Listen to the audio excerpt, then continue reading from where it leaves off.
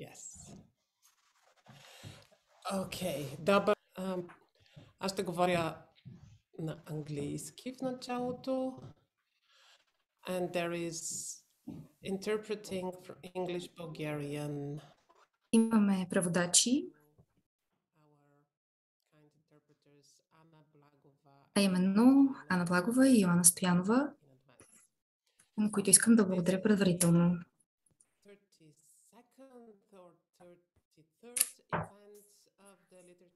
Това е 32-то или 33-то събитие на къщата за литература и превод за тази година, като програмата ни все още не е приключила.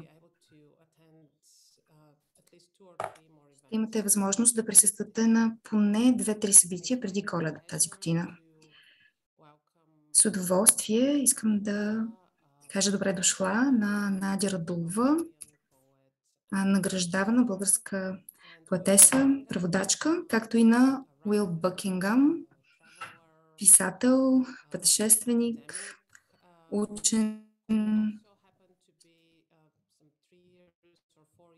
Той също така преди 3 или 4 години, заедно с Хана Стивенс, беше резидент в къщата за литература и превод. Мисля, че те така заедно откриха София и в крайна сметка се преместиха да живеят тук. Днес е Международния ден на философията. Така че честит Международен ден на философията. Но днес няма да говорим за философия с нашите участници. Въпреки, че, доколкото знам, а, дисертацията, докторска дисертация на Уил е върху Емануел Левинас, но се надявам, че двамата с Надя Радулова ще говорят за по-литературни теми.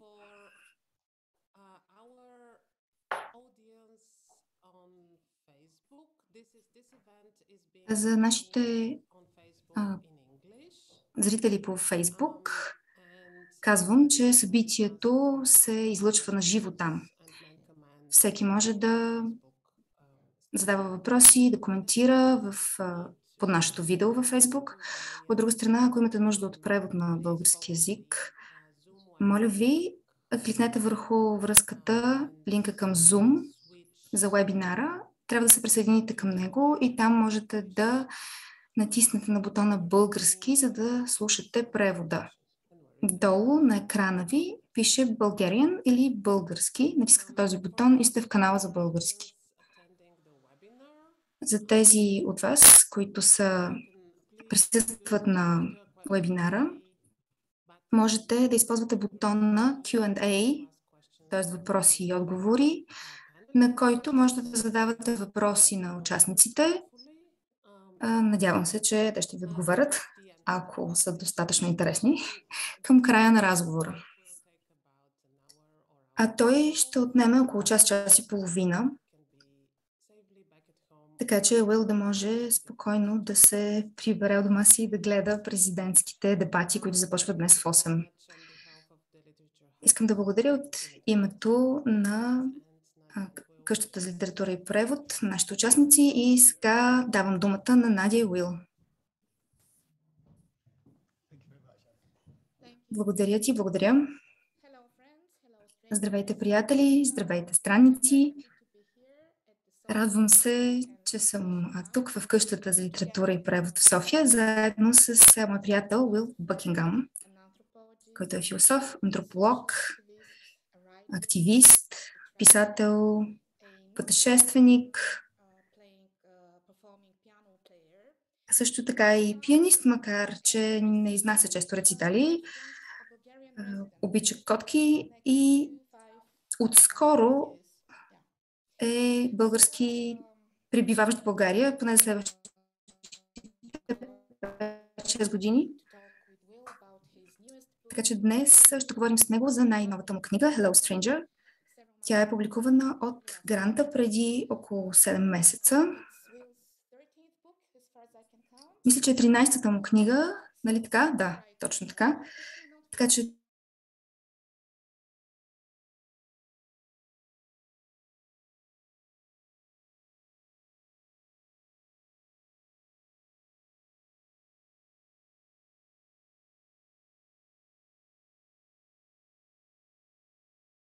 филоксенията и ксенофобията и техните дълбоки, оплетени цивилизационни и културни корени. Освен това, книгата е хибридна от жанрова гледна точка, но не само. И в известен смисъл тя отразява множеството и различни а, професии, роли и страсти на самия Уил. Тя е мем, мемуар на скръпта, пътешественически бележки, фрис в любопитни случки, философски, антропологически наблюдения, автобиография от срещи, но и читателска автобиография. Тя има 425 бележки в края на книгата. За мен това е удивително и много вълнуващо, а някои от тях сами по себе си са вълнуващи разкази. Така че първият ми въпрос към Уил е свързан с а, този чудесно смесен жанр на книгата, но също така, отвъд а, жанровия въпрос, книгата, ви, книгата ти смесва различни тонове. Искам да те питам за твоята страст към а, колажната техника. Ти си говорил с това преди. Благодаря ти, Надя. Благодаря за прекрасното представяне. Всъщност не съм, не бях броил а, бележките. Наистина ли са толкова много? Да, да, аз ги, аз ги преброих.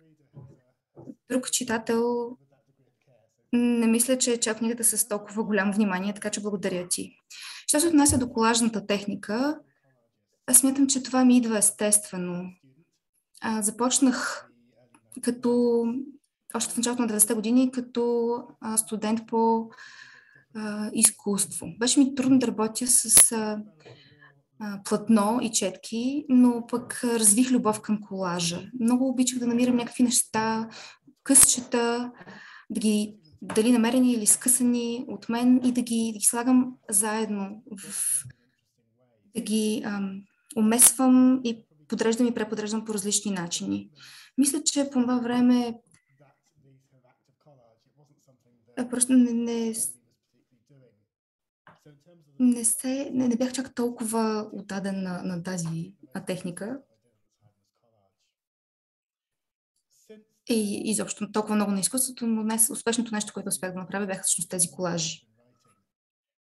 в последствие започнах повече да, да се занимавам с писане и смятам, че това усещане към колажа продължи и остана с мен. Мисля, че в известен смисъл аз съм като сврака. Обичам да а, намирам разни неща, да ги хващам. Примерно идея от тук, идея от там, които нямат очевидна връзка помежду си, но обичам да ги а, свързвам и да видя, да видя взаимодействието им. И според мен в, в академичните среди този анализ а, този анализ представлява голям интерес. Аз, но аз се интересувам от, от синтеза, от а, събирането на различни неща и откритието какво се получава от тях. А, това правих и с книгата ми. Някои части, които съм използвала за този колаж книгата, са части от моя живот, от моя опит, други са неща, които съм чел от всякакви дисциплини, също и истории, които съм, които са ми разказвали. Има страшно много такива истории. Исках да видя как тези части, тези материали, когато се съберат заедно, може да се получи нещо ново. Как успяваш да лавираш между толкова много различни книги а, и истории, които цитираш, а, към които препращаш в книгата, защото от, от Платон, Аристотел, Види, Кант, Мери Дъглас, Левинас, Жижек, цитираш огромен списък от автори.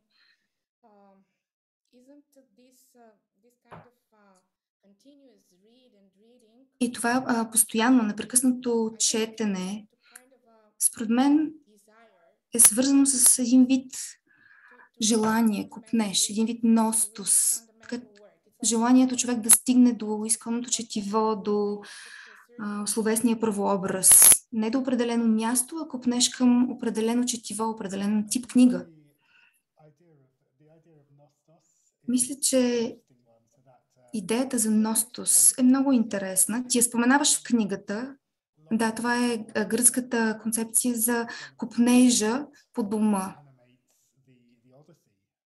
Тя всъщност оживява Одисеята. Одисей постоянно планти с желанието си да се върна от дома.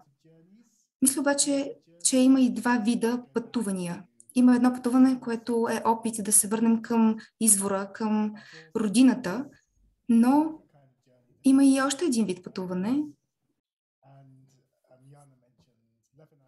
Яна спомена Левинас. Аз наистина написах дисертация по него. Той е френски философ.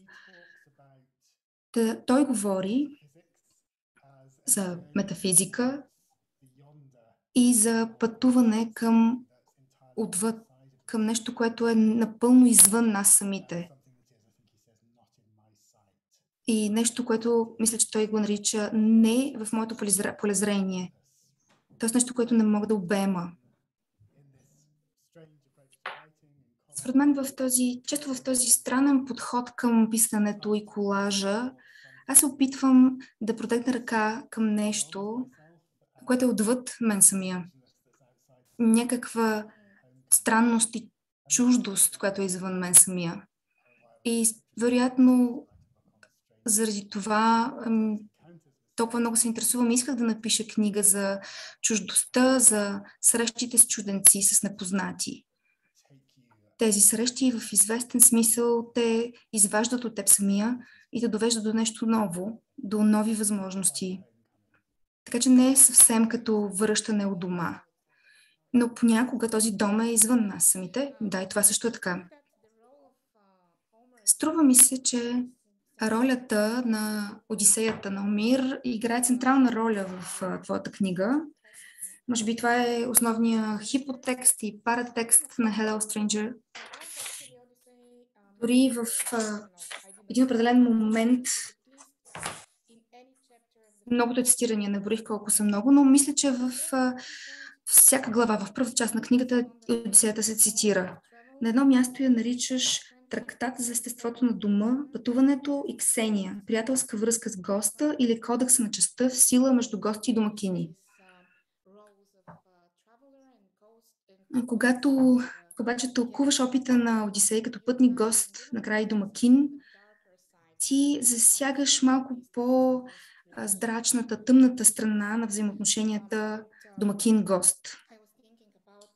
Замислих се, сетих се за Владимир Проб и ролите на злодей, фалшив герой, помощник и така нататък.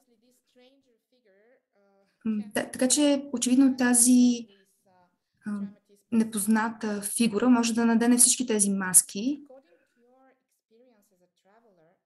В твоя опит като пътешественик, като четящ и пишещ пътешественик, интересно ми е за какви са по-тъмните страни на твоя опит като такъв?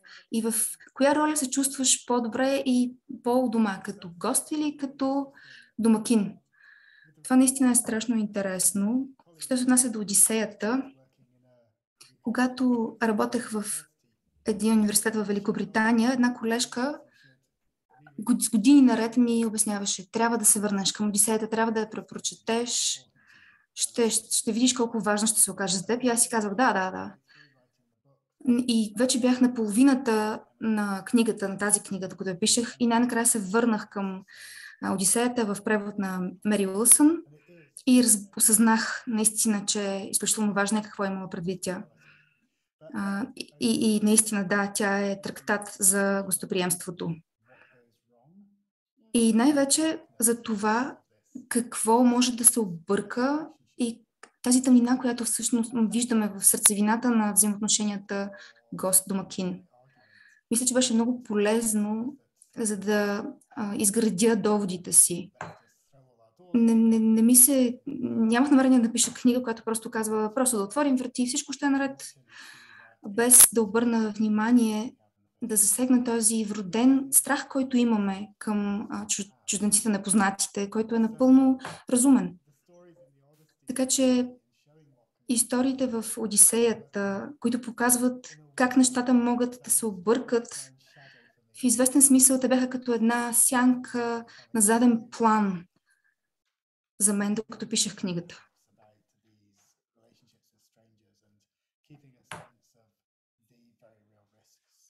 и беше важно за мен да продължа да поддържам усещ, да, да не забравям усещането за риск, което е много реално, когато човек се среща с непознати. Що се отнася до моя опит, аз, аз имах голям късмет. Множеството пътувания, с които, които съм описал в книгата, а и гостите, които са идвали у нас, винаги в тези случаи нещата са минавали много добре. В тези взаимоотношения обаче между а, гости и домакини винаги съм имал предвид и съм знала, че може нещо да се обърка. И може би всъщност съзнанието, че нещо може да се обърка е изключително важно. И последният ти въпрос мисля, че е особено интересен. И това ми стана много очевидно, когато пиша книгата. Много по-лесно е човека да е домакин, отколкото гост. В Великобритания на гости са ми идвали, може би, над стотина души чрез вебсайта Couchsurfing. Те идваха у нас, давахме им ключовете и стояха три дни, седмица, без изобщо никакво заплащане или, или друг вид а, обмяна. Това беше окей за мен, но да почукам на, на, на вратата на непознатия, самия да бъда гост, това е много по-трудно, много по-предизвикателно. в книгата описвам а, в началото още, когато бях в Пакистан на 18 години, своя опит, когато се учех как да бъда гост, как да бъда уязвим пред другите и как да се изправя с това усещане. В, в Пакистан е много, много трудно човек да бъде гост. Сега искам да, да премина към на, друг, на друго ниво. На,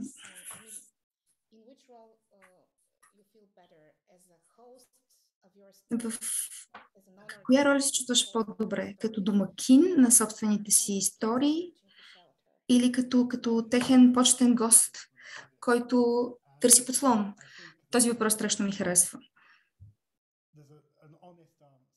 Мисля, че честният отговор е едно, а отговор, който ми се иска да е верен съвсем друго.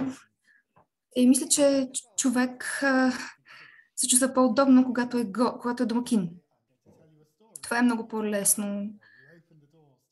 Отваряш вратата на, на своята публика, пускаш ги и можеш да им разкажеш история. Това е една удобна роля, приятна е. Освен това, тя помага да се да намериш допирната точка с другия. Мисля обаче че в много от историите, които описвам в книгата, и това го осъзнавах, докато я пишех, а че не винаги има такава, такава удобство и комфорт в тези истории. Например, когато пишех за беженците, които пътуват от Средиземноморието към Северна Европа. Тези истории, при тях силно усещах, че, че няма как да бъда домакин в известен смисъл. Много по-трудно е, когато когато човек когато човек търси подслон некомфортно, неудобно човек да търси подслон. Ако аз трябваше да отговоря на собствения си въпрос, бих казал, че моята мечта би била да вляза в една история или разказ като домакин и да изляза като гост. Ще трябва да си помисля по този въпрос. Всъщност, този въпрос за гост-домакин на собствените ни истории е свързан с един цитат на Морис Бланшо от, един, от една известна негов, негова есе, който той казва, че а, преводачът е вечния гост, този, който никога а, не си е у дома. Искам да питам как, какво ти е мнението от, за този цитат, но един друг цитат, който а, в една есе, която е посветена на смъртта на Жорж Бетай, Има още, едно, още един интересен цитат в това есе, пак на Бланшо, който казва Трябва да се откажем да опознаваме онези, с които ни свързва нещо същинско. И по това имам предвид, че трябва да ги срещнем в отношението на непознати, както те ни срещат също, и в взаимната ни чуждост. Да запазим безкрайната дистанция, фундаменталните ни различия, които превръщат онова, което ни разделя, в основа за свързването. Така че би ли казал, че според Бланшо приятелят е винаги най-непознатият непознат?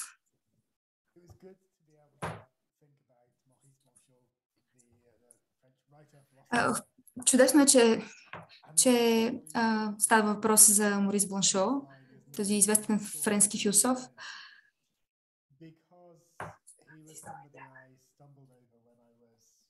който разказва антиистории. А, това е нещо, с което се сблъсках, когато пишех дисертацията си. Малко ще отклоня тук, но когато работех по тази дисертация в ранните етапи, а, моя ръководител каза, трябва да четеш повече Морис Бланшо. Така че аз стоих, купих преведена а, негова книга, започнах да чета и из... в последствие на това започнах да сънувам много странни сънища в които а, се намирах в, в, в някакъв пясък, мисля, че движещи се пясъци. Аз а, с, а, потъвах и, и читателя на, на Морис Браншо беше, не можеше да ме достигне, протягаше ръка, но, но не може да, да ме достигне.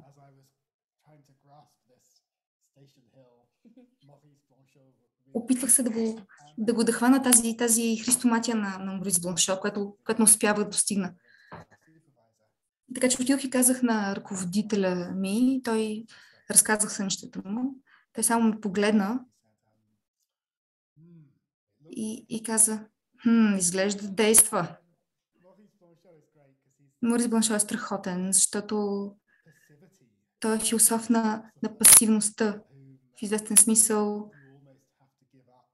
философ, при който човек трябва да се откаже от изобщо да всякакво усещане за ролята като домакин, когато го чете. И този въпрос за приятелството е особено интересен във връзка с Бланшо и Левинас, защото двамата са били приятели цял живот. Беше, било е любопитно приятелство. Бланшо е бил интересен човек. Има много малко негови снимки.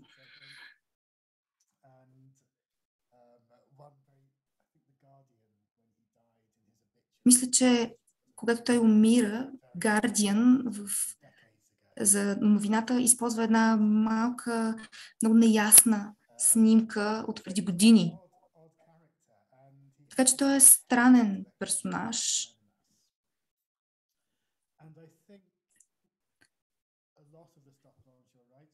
И смятам, че много от нещата, за които пише, свързани с другия, с взаимосвързаност, за това как се отразява другия на нас и абсолютната разлика с другия и това се свързва с Левинас. Така че двамата били много, много близки, макар че са работили в много различни области. Така че когато говорим за приятелството, да се върна от отклонението, мисля, че интересната идея тук на Бланшо е е, че идеята е, че дори в приятелството, което смятаме за много близо, всъщност има едно, една присъща чуждост. Не съм сигурен доколко съм съгласен, че трябва да се откажем от опитите да се опознаем, както казва той. Струва ми се, че Бланшот просто иска да постоянно да поддържаме осторожност, да, да мислим постоянно за тази за тази дистанция. Да, можем, можем да го направим, но ако излезем да пием кафе заедно и, и постоянно мислим за, за тази възможност за, за разлика, дистанция, това може да попречи на, на това да пием кафе заедно. Самия Левинас казва, Не трябва да спим, трябва да философстваме. Но според мен трябва и да спим.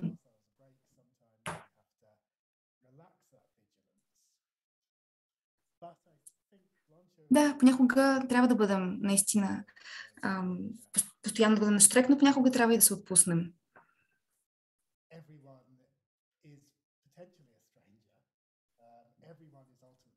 Все пак, все пак не трябва да забравяме, че всеки потенциално е непознат. Дори ние самите за себе си. Затова нещо интересно в нашите взаимоотношения е познатостта, близостта. И когато сме близки с някой, това е, случ... това е ситуацията, в която най-малко очакваме да се появи някаква непознатост, някаква чуждост и това изведнъж ни стъписва. Казваме си, мислех, че, мислех, че познавам. Изведнъж това нещо ни се струва странно.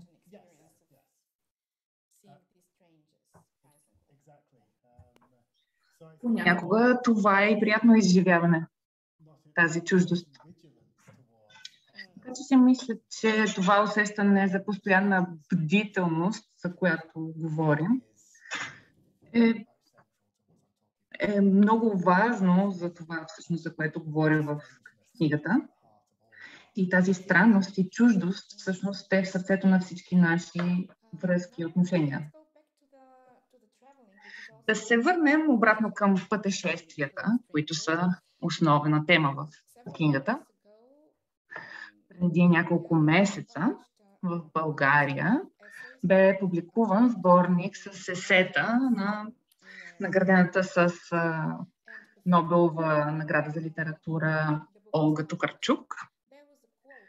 И а, след като бе публикувана книгата, имаше една, един цитат от нея, качен в Фейсбук, който предизвика много така разгорещена дискусия всъщност тя ни предлага, да кажем, радикално не на пътуването в наши дни. И аз ще прочета а, един кратък отказ от нейното есе и бих искала да те помоля да коментираш, защото мисля, че то е интересно, много интересно мнение. Такъв случай имам ли право да пътувам? Когато другите са задържани на границата и затваряни в беженски лагери, пътуването все повече се превръща в етичен проблем. Честно казано, загубих желание да пътувам. И не защото се страхувам от атентати или войни, загубих желание да пътувам, засрамена от собствената си свобода, която другите нямат. Не искам повече да бъда турист в бедните страни на глобалния юг, защото пасивното наблюдаване на човешката бедност и страданието на животните станаха нетърпими за мен. Нямам желание да пътувам от времето, когато видях в Средиземното море плуващи острови от пластмасови буклуци, а на плажа трябваше да разчистя мястото, на което исках да седна. Не искам да пътувам с самолети, откакто се превърнаха в международни таксита, които в рамките само на един полет изкарат толкова гориво, колкото няколко десетки автобуси по същия маршрут. Изгубих желание за пътуване, откак съществуват постове във Фейсбук, чрез които съвременните пътешественици подробно и с помощта на снимки информират какво са правили всеки един ден от екзотичното си пътешествие. А всъщност човек може да се свържи с тях със същата лекота, все едно са си вкъщи. Имам чувството, че никога не са тръгвали на път. Книгите от труда ще ви разкажа къде бях и фестивалите, посветени на пътешестването, не ме привличат. Не ме радва също лежерният планинарски пътник, който прекрачва, провлачва крака и зрел бистър поглед и световните страноприемници, подхранва вечно гладното си за впечатление его. Желанието ми за пътуване изчезна, след като джихадистите взривиха статуите на Буда и унищожиха Палмира. Може би е по-добре да ги гледаме виртуално, по интернет, защото там все още съществуват и са в безопасност. Не изпитвам, мога ли да бъда невинен пътешественик в свят на конфликти, избухващи бомби, отвличани самолети и непрестанен страх от атентати. Мога ли да се радвам на почивка на плаж, до който местните нямат достъп? Мога ли да се настаня удобно в самолета, като знам, че в обратната посока пътуват хора, натъпкани в контейнери? Какво биха казали за това Филиас Фок и Индиана Джонс? Може би този път би трябвало ние да останем вкъщи си и да посрещнем другите пътуващи. Преводът от полски язик е на Крум Крумов. Бих искала всъщност да коментираш този цитат и във връзка с работата ти като активист. Това е наистина много богат на асоциации пасаж. Ти ми... Аз говоря малко български, но ми го дадохте и на английски. И ако не сте, не говорите български, нямате този, този плюс, че нашата преводачка Йоанна всъщност го преведе, преведе за мен. Всъщност в този пасаж и това, което е много важно в него, е въпросът какво означава да пътуваш, когато пътуването и пътешествията са всъщност един компромис. Е, етичен компромис. А, говорим за различните режими на пропускане на границата, за което говори и в книгата за страхът от преминаване на границата, който а, доста зависи от това с какъв паспорт пътуваш и откъде идваш, какъв е цвета на кожата ти, как изглеждаш. Така че границите са едно такова място, които някои хора минават лесно, но други не. И аз пиша много за това в книгата. За мен това е... Аз съм напълно наясно с свободата, която имам да пътувам и че не всички други имат това. Не всички могат да се движат, движат по този начин. Бежанците, хората, които търсят убежище, които срещаме в Гърция, за тях границата беше просто една преодолима, непреодолима бариера, докато за мен е много лесно да се кача на един влак от София до Солун. Това за мен беше едно приключение без риск.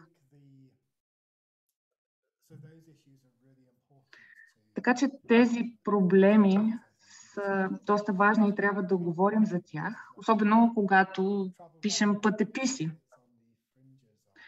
И моята книга е пътепис, но тя е един граничен случай на пътеписа. Очевидно в този отказ от Олга Тукарчук, който ти прочете, става дума и за екологичната катастрофа, която се случва в следствие на глобалната пътуване и манията по пътуване. Но също така мисля, че бели мъже като мен, пиши, които пишат за своите вълнуващи пътувания и се стоят около света, сякаш е техен дом, също е проблематично. Така че има важни въпроси тук, на които трябва да дадем отговор. А, имам доста приятели, които се занимават с писане на пътеписи. И съм наблюдавал, принцеса съм към дебатите, които се водят в тази общност. Аз пътуванията, които, с които се запознах, пътуванията на много хора, които чух и разказите им, докато проучвах тази книга, никога няма да се превърнат в а, пътеписи, които ще бъдат публикувани. Но те са, може би, доста по е, важни. Така че има сложни, сложни етически въпроси. Говорейки за мой активизъм и за пресечната точка между мой активизъм и писането,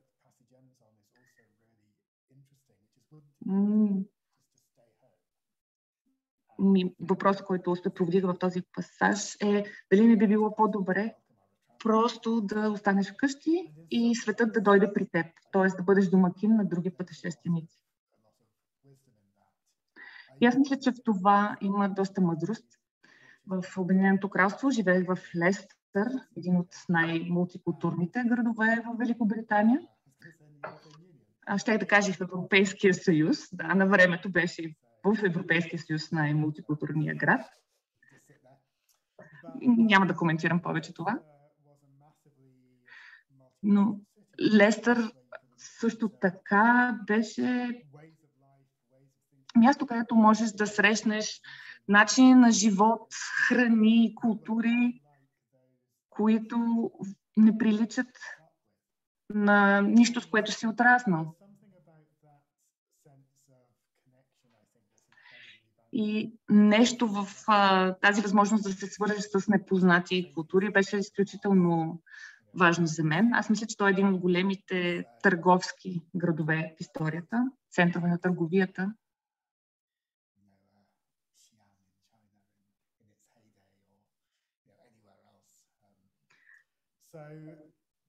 Така че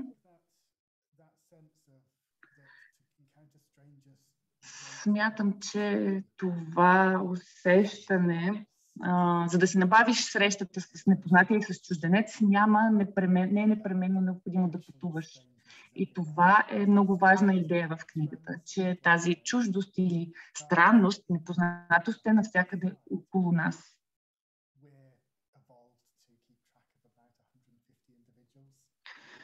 Човешкото същество е еволюирало, така че да може в един и същ момент да наблюдава движението на около 150 човека едновременно. Всички тези хора са в общи линии непознати.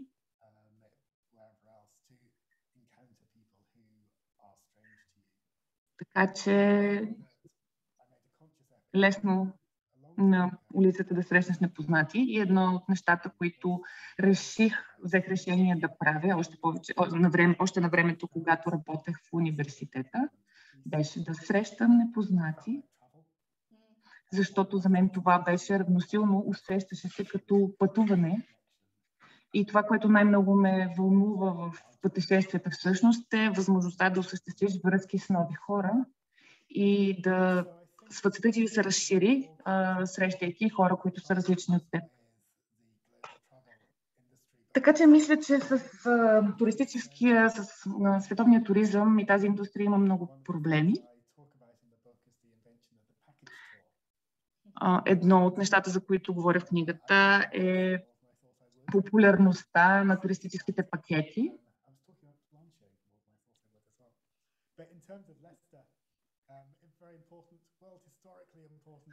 В Лестър, говоряки за Лестър, Лестър е много важен в, в тази дискусия, защото Томас Кук, основателят на туристическата агенция, всъщност е измислил идеята за туристическия пакет. И той се превръща в някакъв вид пътешествие поклонническо, метафизически, метафизическо пътешествие. Към, в пътуване до нещо, което е отвъд. В книгата аз твърдя и разсъждавам върху този въпрос и твърдя, че това е всъщност една доста дълбока човешка нужда. Ако се замислим за Слънчев бряг в България, едно ниво, това не е място, където човек би искал да прекара времето си. Даже прилича на моята идея за ад. Но, но от друга страна има един глад глад в Обединеното кралство и от туристите в Обединеното кралство да отидат на някакво място, което е различно. И аз мисля, че това е една естествена човешка нужда, която се доближава до поклонничеството. Въпреки очевидните негативи на Слънчев бряг, мисля, че и там можем да намерим нещо положително. И това е тази много базова човешка нужда за среща с нови хора. Колкото до нашия активизъм, защото а, ние с Хана Стивенс имаме една организация, която се занимава с писането и писането като фактор за социална промяна. Работим с беженци в беженски лагери. Работим по проекти, свързани с Миянмар и области в а, Миянмар, които са в планините, а не в равнините, където по принцип а, са областените хора в Мямар, по-скоро сред младсинствата, които живеят по планините. И с нашата организация всъщност се опитваме да изследваме как писането може да доведе до социална промяна и по някакъв начин да преодолее различията ни.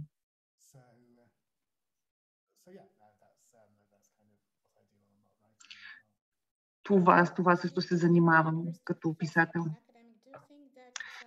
Като преподавател в университет и като учен, мислите ли, че подобни проекти, активистки проекти, имат своето място в университетите? Защото в американските университети има много такива програми. Те са доста интегрирани в учебните планове. И на мен ми се струва, България съвсем не е така, но ми се струва, но ми се струва, че не навсякъде е така. Как мислиш? Доколкото разбирам, ти също предпочиташ да стоиш малко по-встрани от академичния живот и да търсиш други начини да осъществяваш своя активизъм. Университетите са любопитни места. Много от това, което се случва там е страхотно, чудесно. Фактът, че има учени, които се занимават с много добри изследвания и влагат изключително внимание и аналитични умения, които са изграждали цял живот. За мен това е фантастично преподаването е също нещо, което винаги съм харесвал. Мисля обаче, че университетите все пак имат своите граници и не могат винаги пряко да допринесат за социалната промяна. Всъщност университетите са алергични към промяна. Те са изключително устойчиви и консервативни. Те са просто едни места на липсата на промяна а, това, което те наричат промяна, обикновено е някакво вътрешно а, разместване, но не могат да не са способни на радикални промени. Така че мисля, че е по-лесно да постигнеш някаква промяна извън университетската система, говорейки за племената, народите, които живеят в планините на Миянмар.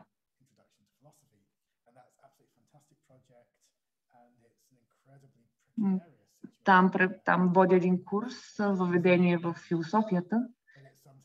Един страхотен курс и страхотен проект, макар че хората, които живеят там, живеят в доста рискови условия. Тяхната позиция е доста уязвима. И за мен, като човек, който обича да тича, да, да преподава, аз благодарение на този курс мога да разсъждавам по тези въпроси и да общувам по тях. В този курс е доста по-различно, отколкото в една стандартна университетска програма. Важно ли е според вас подобни проекти да влязат в учебните планове и програмите на университетите? Защото понякога имаш нужда от академична подкрепа не само от гледна точка на знанието, но и за подобни проекти. Да, абсолютно. Това е изключително важно, но искам да видя повече такива проекти. Искам да видя как в университетите разцъфтяват альтернативни образователни проекти, които не, не възприемат университетския модел и в които хората биха могли, например, да се включват, да се изключват, да участват в обсъждане на идеи, да проявяват творчество, без да бъдат обвързани с тези леко тесни структури на университетите. Аз много обичам университетите. Почти целият ми живот съм прекарал около университетите и в тях. Но не мисля, че те са единствените модели за творческо мислене, образование, както и за интер, за интервален подход към света, изследване на, на, на този вид образование за възрастни. Звучи малко глупаво, но, но говоря за альтернативни университетни универ, университетски програми, които биха били страхотни. които според мен ще осъществят голяма промяна. Сега отивам към следващия въпрос и сменям темата. За мен този въпрос е много важен за книгата, защото според мен от него проистича наративната рамка на книгата. Говоря за темата за скръпта. Тя оформя наративната рамка. За мен тя страшно много ми харесва. Рамката на скръпта. Според мен тя е емоционалната подплата на Hello Stranger. Преди няколко години ми попадна един роман от много млад британски писател. Това беше дебютният му роман и много експериментален роман. Името му е Макс Портър, това е писателят. А, романът се нарича Grief is the thing with feathers. Прекрасно заглавие.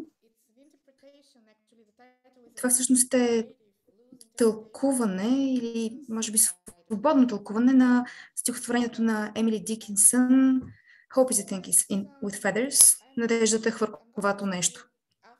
Искам да те питам, след като написа тази огромна книга с толкова много бележки, след като тя беше публикувана и си дал толкова много интервюта, свързани с нея, сега можеш ли да ни кажеш вече от кой момент скръпта в крайна сметка се надига надеждата? Много интересен въпрос. Пишех тази книга, докато моят, моята партньорка Ели почина от рак на гърдата в началото на 2016 година. Всъщност тя а, се възстанови първо, но след това изложих, поставих диагноза а, терминален рак в четвъртия етап умря след няколко месеца. Беше много бърз процес. Но и преди нейната смърт аз вече пишех книга за непознатите. След като тя почина, не знаех, не знаех какво да правя и реших да рискувам. Казах си, може би трябва да, да замина аз да стана непознат, чужденец. Да видя къде ще стигна по този начин. Всъщност, преди да умре, тя, тя самата ми го каза, трябва, трябва да заминеш. Така че тръгнах към Янмар. И много приятели ми казаха, това е лудост, всичко в твоя живот се промени. Защо отиваш някъде, където никъде не си ходил, езика е труден, ти не го говориш. Но аз имах усещането, че, че може да подейства. Когато бях в Мянмар, започнах да, да пиша нещо, което всъщност е мемуар на скръпта. Пис, пишех всеки ден, общо заето. Пишех в кафенета. Пишех за Ели, за нейната смърт. Това ми беше много, много скорошно близко, беше болезнено за мен. И а, в един момент знаех, че а, мислите ми относно непознатите чужденците и скръпта ми относно Ели в крайна сметка ще се съберат. И те наистина започнаха да се сближават по различни интересни начини. И когато се върнах от Мянмар, започнах да, да осъзнавам че скръпта ще бъде много по-голяма тема в книгата за непознатите, отколкото си представях. Защо? Защо скръпта? Как се свързва с тази тема? И мисля, че един момент на връзка между двете теми е, че а, скръпта в известен смисъл е загуба на бъдеще. Това го споменавам и в книгата. Така че човек като цяло има усещане за това, че живота продължава, но когато преживееш скръп, загуба, изведнъж бъдещето изчезва. В такъв случай как, как човек успява да се справи с това усещане за загуба на бъдеще? И тогава започнах да се занимавам с Левинас, който, който, казва, който казва какво всъщност прави непознатият. Непознатият ми носи бъдещето. Бъдещето, което мога да очаквам. И тези две теми, скръпта, която е загуба на бъдеще, тя може да бъде много неща. Тя е много индивидуална и трудна за всички, така че това е от една страна. И това, което Левинас казва, че непознатият ти носи бъдещето, което може да очакваш, тези две теми се събраха и аз си казах, ето това е връзката. И, и това се оказа много по-голяма тема, отколкото си мислех, че ще бъде. Мисля, че не, не беше толкова, толкова свързано с надеждата. За мен скръпта е нещо много, много лично. В много моменти се чувствах напълно безнадежден. Но като цяло аз по природа съм оптимист. И, и винаги имах усещането, че сигурно има някакъв начин животът да не, да не се усеща толкова болезнен и ужасен и че в някакъв момент нещата ще се променят. Така че не бях безнадежден напълно, но ми липсваше усещането за бъдеще. Какво може да бъде бъдещето? Така че това ми се върна, докато пишех, докато преживявах скръпта си. И мисля, че от тук взех тази, тази толкова силна тема, поне за мен много силна лично.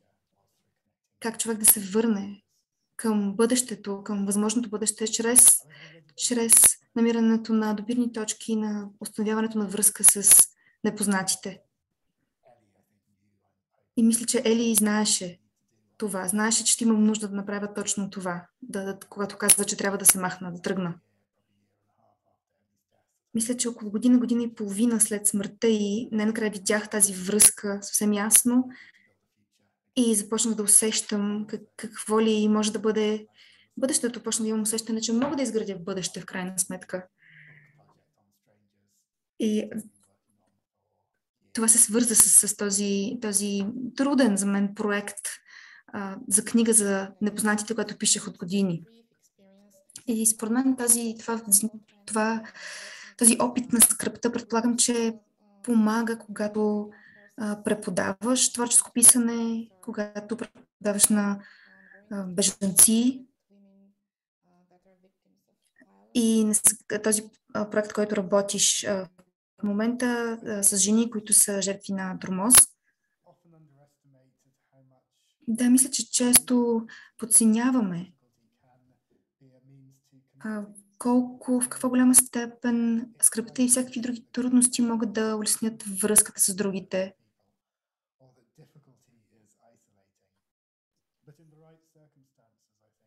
Но мисля, че при подходящи условия имаме е, е, тези трудни моменти могат да бъдат начини за свързване или повторно свързване с другите. Тези всички проекти, с които аз, в които аз занимавам и съм се занимавал с бежанците, малцинствените групи в Мянмар и този страхотен проект, с който занимавам сега в България с жените, за, с това МПО, което споменах, с което работя, Improve. Моля ви, вижте, запознайте с тяхната работа, те са страхотни.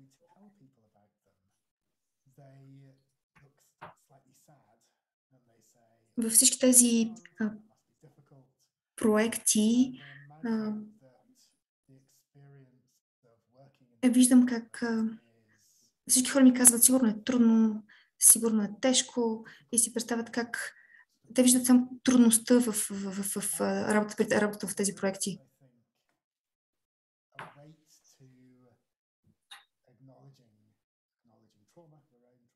И според мен, да, тежи, когато човек, когато човек осъзнае травмата своя или чужда, но същевременно субективният опит, преживяването ми, моето лично преживяване в работа с всички тези групи, тези проекти, това, което най-много ми остава от тази работа е усещането за забавление, за свързване с други човешки същества, радост, удоволствие, любопитство, любознателност, творчество, да правим нови неща.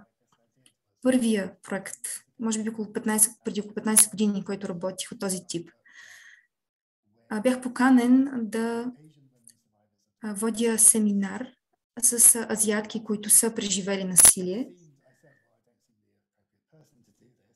И ми се струва, че аз не съм най-подходящия човек за тази работа за очевидни причини, но вече бях работил с, с под, под подобни групи и тези 6 седмици, които прекарах с тях, бяха прекрасни.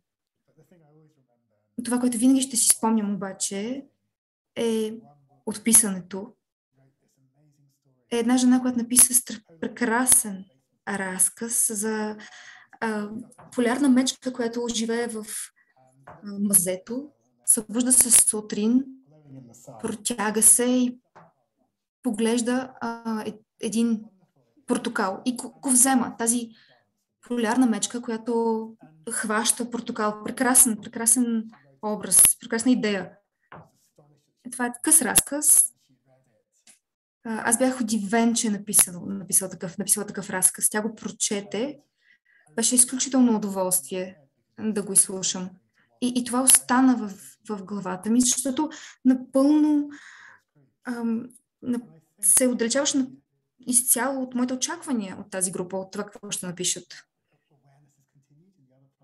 И мисля, че, че това усещане продължава и в а, другите проекти, следващите проекти. А именно, че винаги съществува възможността да се случи някаква такава експлозия на радост, възможности, експерименти.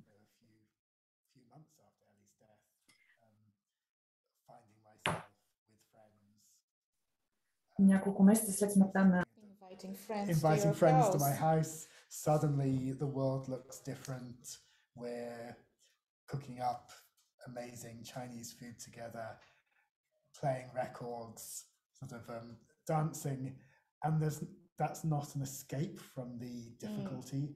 but it's almost like um, fully immersed in the difficulty, and also then on that basis, I think you know going forward with that sense of sense of the possibility of joy, and I think that's really really important that um, that that's acknowledged as a part of all those experiences as well. Um, that and that those possibilities are still there.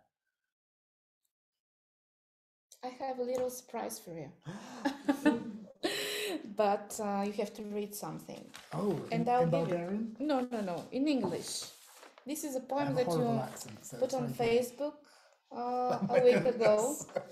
So uh, I think it's an early poem by you. Is it when, when was it written? All, all the poems by me are early poems. um, so yeah, this Sounded is a bit like a statement. this is a poem which I I was thinking about academia and being in the margins of academia as I am, and I came across lurking. This is uh, някои мои стихотворения, които написах 95-96 година, когато живеех в Дъръм, в Северна Англия и си правех доктората, разхождайки се, връщайки се към къщи.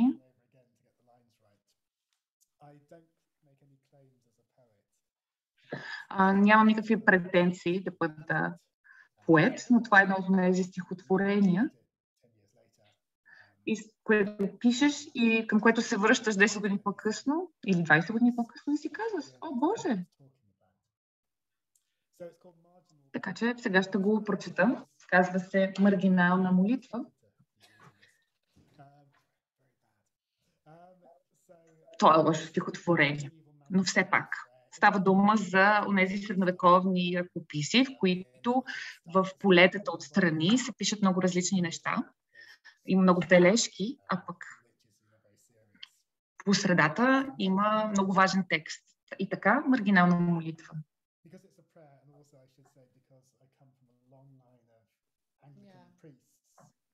Аз трябва да кажа, че съм потомък на много свещеници, англикански свещеници, и това е в ДНК-то ми. Нека да чуем стихотворението. И така, маргинална молитва. Мили Боже, не ме затваряй в жестокия и срок, строг закон на Словото си. Не ме оставяй в примката на тесните редове, които нижа надвесен над писалището си. но позволи ми да се разлистя като аканта на главното А, тъй, щото да се превърна в твоя неофициална версия. В маймунка от маргиналиите, в шега, в фарс, в шевлива монахиня. Мили Боже, нека бъда твоят кълмбур напълно непреводим. Написал си го като свещеник, а аз сега ще бъда като глас от маргиналите, от страничните полета и ще прочета превод на стихотворението. На на тесните редове, които нижа надвесе над писалището си. Но позволи ми да се разлистя, като аканта на главното А. Не, не, не. Това добре, добре, да ми кажа.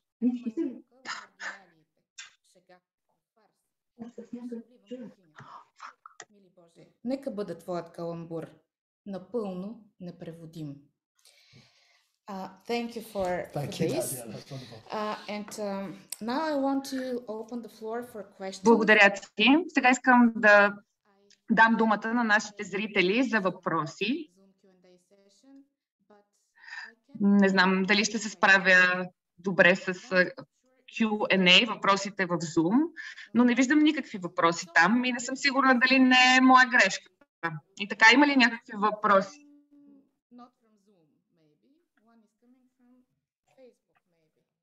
Но има въпрос от Facebook, не от Zoom.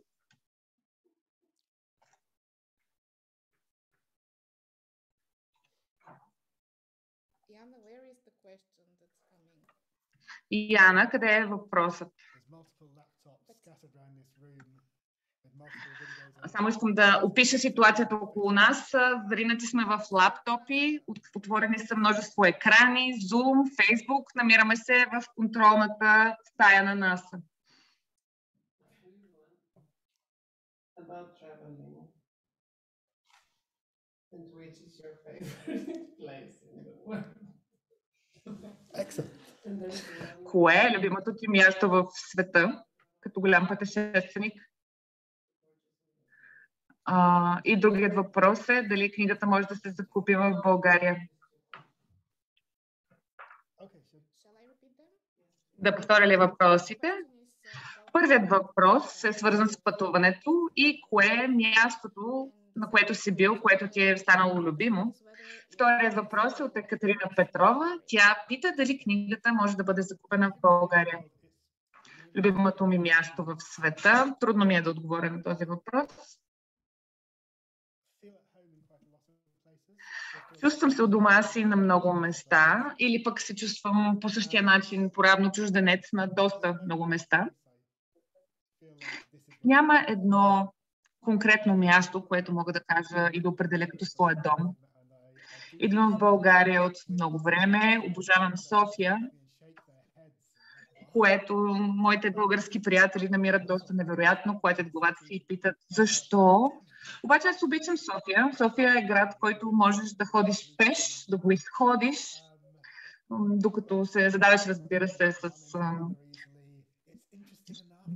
замърсяването във въздуха. Но той е достатъчно интересен. Винаги има много места, които можеш да откриеш. София е страхотна и аз много я харесвам. Обаче, като се замисля а, за място, където кое място е, къде бих отишъл, ако можех сега веднага да избера къде да се пренеса. Харесвам Северна Англия, която живеех. И също много бих искал преврата и вълненията в Миямар да приключат и да мога да се върна и да седна с приятелите си в някаква чайна, тъй като те правят най-прекрасния с най-прекрасният чай, най-прекрасните сладкиши. Има много места, на които бих се завърнал. Но всъщност се оказва се нямам любимо място в света.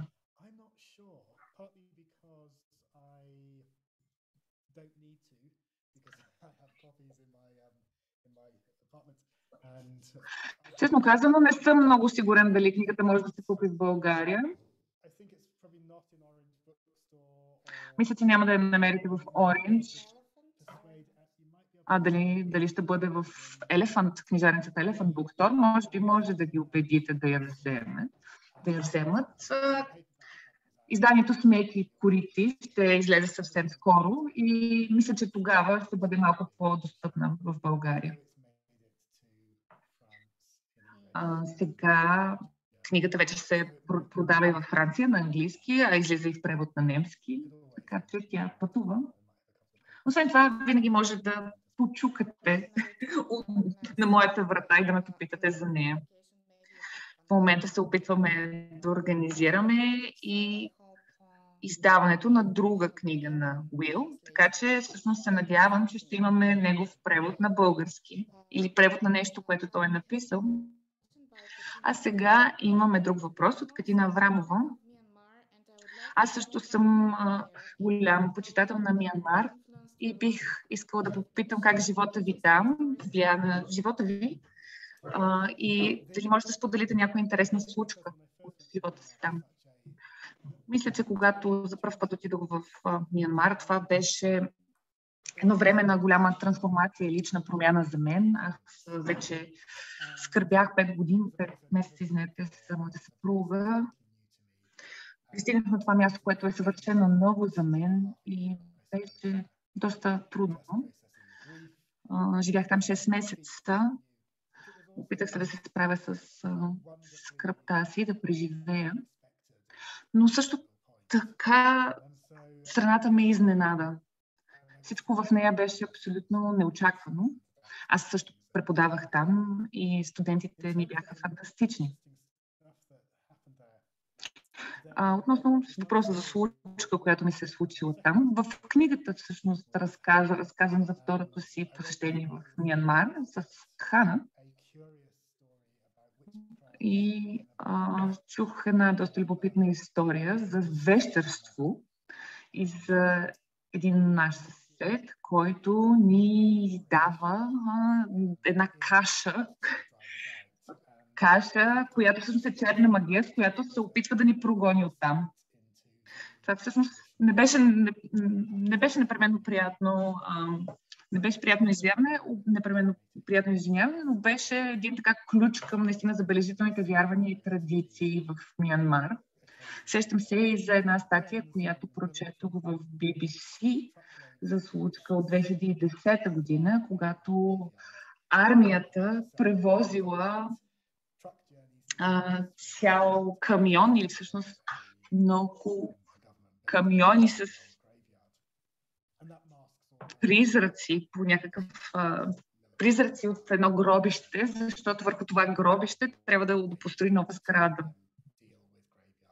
Това, това говори много за тяхното отношение към гробищата. Всъщност има много, много, много любопитни истории от Мyanmar. Може да намерите тази статия на сайта на BBC. Друг въпрос от Мариана Ангела. Смятате ли, че превода на една книга краде сценария на оригинала? Ами, винаги се надяваме, че преводът ще е по-добър от оригинала. Би било страхотно. Страхотно е винаги, когато някой превежда твоята книга. Като, като, като писател човек се надява, че неговата книга е хубава. Има неща, които харесваш и които не харесваш, но истинска надеждата в крайна сметка е някой да я преведе и този превод изведнъж ще добие магическия момент, елемент, който липсва в оригинала. Това е много, много вълнуващо. А и освен това, се свързва и с цитата от Бланшо за, за преводите.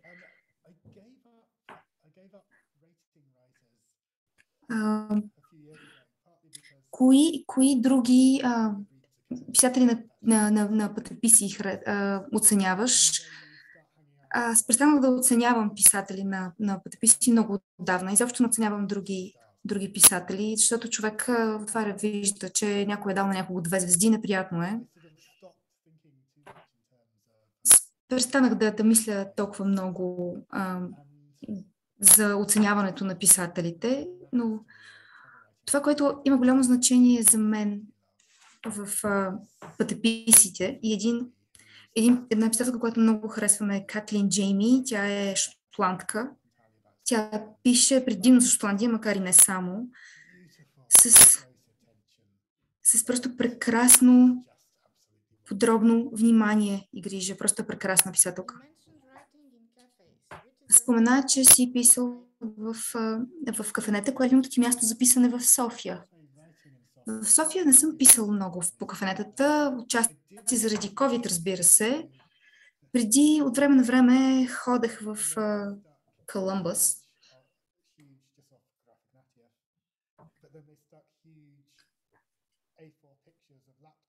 А, те, те, те, слагат едни огромни, а, огромни а, плакати с, с лаптопи, които са зачеркнати. Това ми се струва ужасно враждебно и неприятно.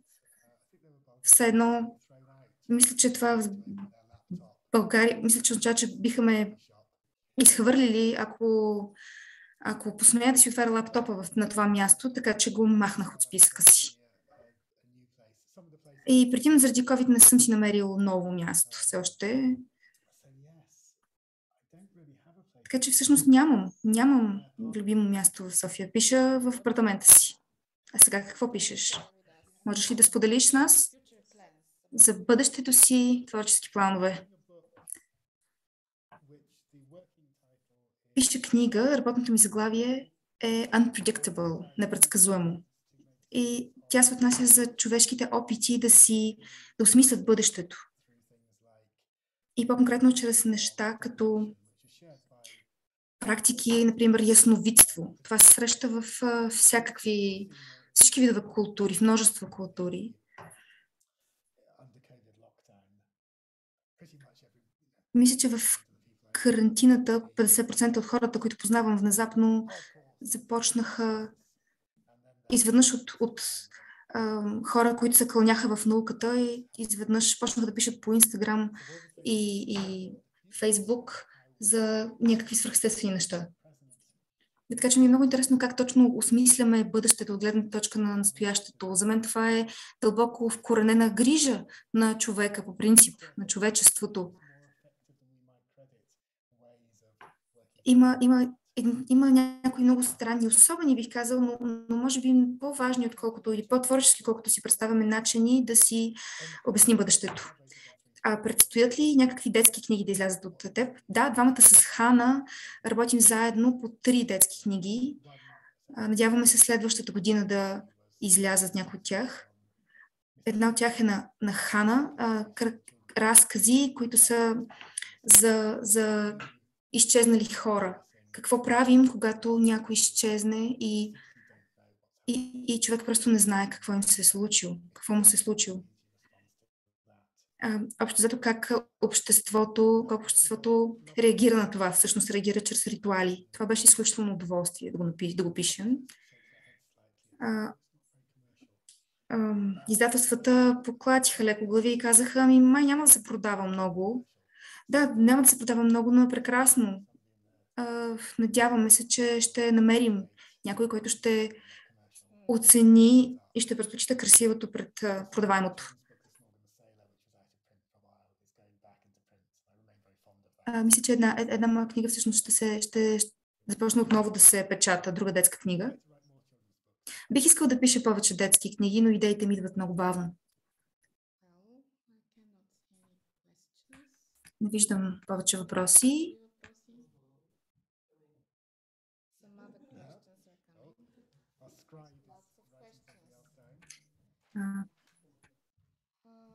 Ето тук имаме въпроси.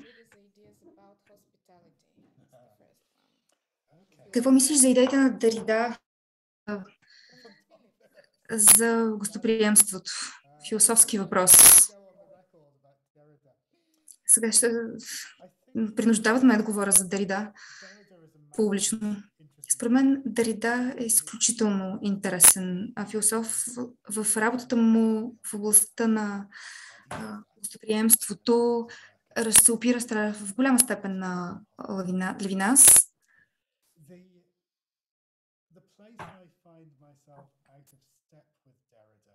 А там, където според мен пътищата с Дрида се разклоняват, се разделят не толкова при, в областта на не толкова в областта на самото гостоприемство, колкото размяната на, на дарове.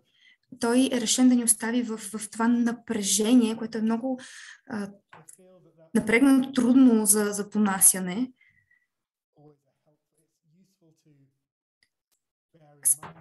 Според мен това не винаги е полезно. Полезно е да, да, да, да мислим за този напрегнат момент, но не, с него не се изчерпва всичко. От, от доста време не съм мислил за Дарида и гостоприемството и за обмян, обмена на, на, на подаръци. Той има една идея,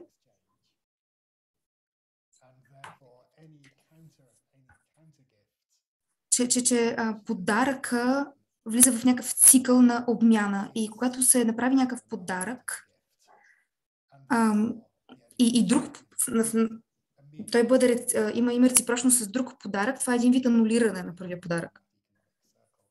И, и се получава нещо като економически цикъл. Е, според мен това не отговаря съвсем на, на, на моя опит с даването на подаръци.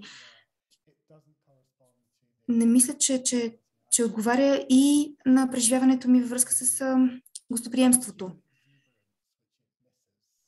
Мисля, че а, тази това обяснение, тази идея пропуска а, типичното за хората, а, типичната за хората експанзивност, желание да даряват.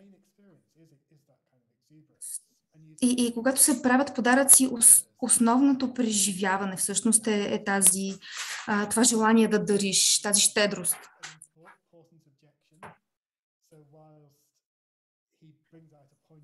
Въпреки, че той а,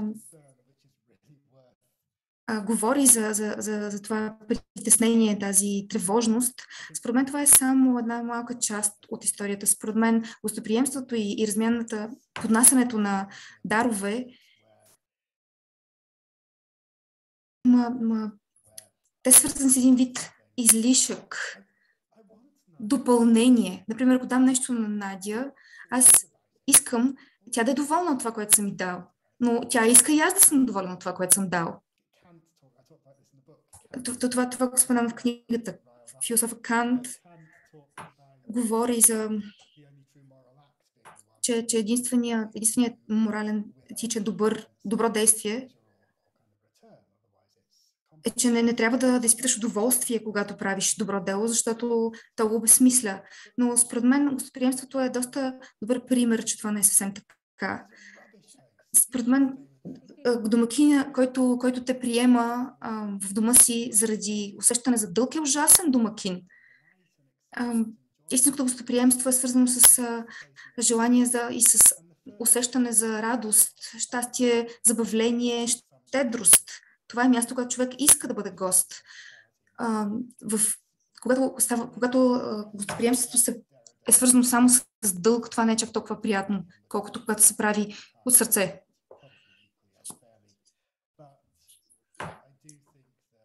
Наистина, наистина смятам, че щедростта, експанзивността, радостта от даването е това, което ми липсва, това, което липсва от интерпретацията на Кант. Още един въпрос. В книгата описани ли се случки и срещи от България? Да, има една страхотна история, един разказ, който ми разказа моят приятел Хасан Якуб Хасан. Този разказ е за гости, домакини, неблагодарни гости, такива, които не приемат гостоприемността. А, той ми разказа този история преди няколко години и се е включил в книгата. Има освен това и раздел, в който говоря за а, един чудесен проект от а, Ideas Factory и Резиденция Баба. Това, това, това е една програма с хора, които отиват да живеят в села, при баби. Там се раждат проекти, свързани с такива села. И в края на, на престоя на, на този човек, а, се, човек се връща в града, но преди това се организира празненство в селския, на, на селския Магдан. А, говоря за тези неща в книгата, защото тя се занимава именно с, с а, връзката а, и, и всъщност и с самотата, защото говори много често за самотата в а, града, но по-рядко говорим за самотата в селата. А също така този проект е свързан и с радостта от, от, от, от общо, общностното хранене. Една баба ми каза, че хлябът е по-вкусен, когато се споделя с другите хора. И според мен това е прекрасна мисъл. Имам и друга любима история от твоята книга, свързана с България, за този твой домакин от България всъщност, който ти е казал, че трябва да си изядеш храната, че си дължен, поне да, поне да опиташ. Това странно ядене, аз не бях чувала за него. Мисля, че може би в Добруджа се развива действието. Северна България. Тази случка има толкова много случки в тази книга, че дори писателя започва да забравя. Не мога да си спомня. Утре може да, да се опитаме да поговорим. Опитай се да намериш. Сега ще е трудно, но, но все пак са 425 бележки до края може да ти помогнат. Ко, коя от многото ти срещи с непознати се оказа най-задълбочена, дълбока и защо? Труден въпрос.